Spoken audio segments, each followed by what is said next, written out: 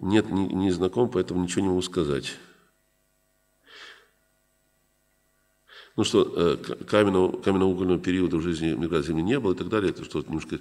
Но дело в том, что я не знаю, но это и так ясно. Во-первых, что никогда не было, не гибло столько количества, что нефть, которую сейчас э, качает так милосердно, да, ясное дело, что она не, не, э, хоть она и органическая, и что действительно органика может распадаться на э, субстанцию, похожую на нефть, это не значит, что все залежи нефти являются результатом того, что когда-то сдохли все динозавры, одновременно в, одном, э, определенных местах, собрались дружно. Знаете, что самое интересное поражает? Вот динозавры не дохли а, в каждом месте, они все собрались кучкой, собрались в одно место со всей планеты Земля и дружно сдохли. Но это абсурд.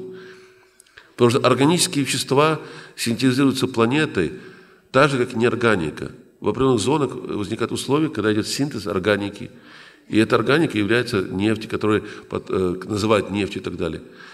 Да, действительно, если органика распадается на органику, это естественно, что ожидать? Но это не значит, что если э, тела, которые при разложении образуют э, кисель органический, который называют потом нефтью, похожей на нефть, это не значит, что нефть образовалась в результате того, что все, все э, миллиарды, миллиарды, миллиарды, миллиарды существ собрались в одно место и сдохли одновременно. Это абсурдно, я не понимаю, как это не может, непонятно э, тем, кто об этом кричит. Так что, конечно, это абсурд. Естественно, что и такого каменноугольного периода, в принципе, такого, как понимается, не было. Много чего не было, то, что современная наука пишет, а это выдумки, ни на чем не подтвержденные. И тем не менее она считается наукой, и фактов никакого, ни одного факта подтверждающего нет. То, что находят отпечатки деревьев, э, и листьев и так далее, в тех же самых пластах, но там же находят и э, изделия рук человеческого высокого уровня.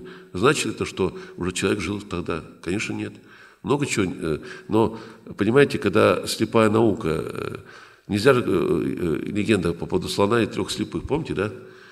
Она много говорит. А таких, современная наука стала полнейшим слепцом, потому что даже когда официально признается, я уже говорил, Верев официально заявил, что да, и российские ученые, не только западные, между прочим, признают, что существует, так сказать, темная материя, да, dark matter называемый, то есть который никто не может ни пощупать, ни потрогать, но и она составляет 90% всей материи Вселенной. Что это означает? Привести его слова, э, друг говоря, значит, современная наука какое, какое понимание имеет о 10% то, что они могут видеть, так? И вопрос, могут ли они создать правильную картину Вселенной – если рассматривать такую небольшую часть того, что они понимают, из 10%, ничего не зная 90%, какая будет э, позиция? Естественно, ложная. Они сами себе противоречат, потому что, не зная 90%, даже не понимая, что это такое, никакой стройной ценной картины, тем более правдивой, создать невозможно. Дальше.